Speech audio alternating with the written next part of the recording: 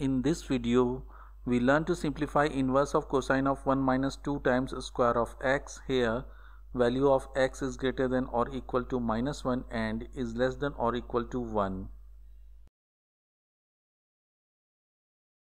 Let us assume y is equal to inverse of cosine of 1 minus 2 times square of x.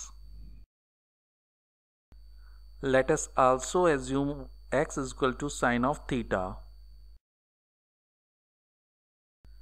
Replacing x by our assumed value in y gives us y is equal to inverse of cosine of 1 minus 2 times square of sine of theta.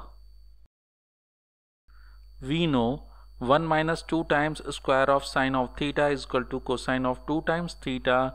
The trigonometric identity has been verified in the video appearing at the upper right corner of this video.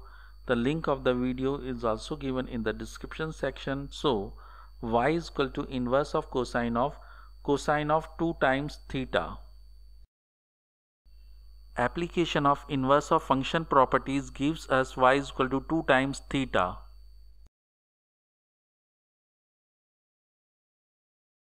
As per our assumption x is equal to sine of theta, application of inverse function properties implies theta is equal to inverse of sine of x. So, the above statement implies y is equal to 2 times inverse of sine of x.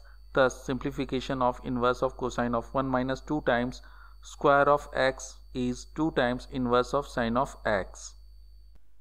Thank you for being with me. I hope you like this video. Please click the like button and subscribe button.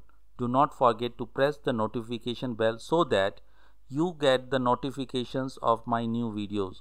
Share the video and do write in the comments. I am eager to listen to your thoughts. If you have any question related to the video, if you think I should make a video on any topics in which you are interested, please write in the comments. Thank you.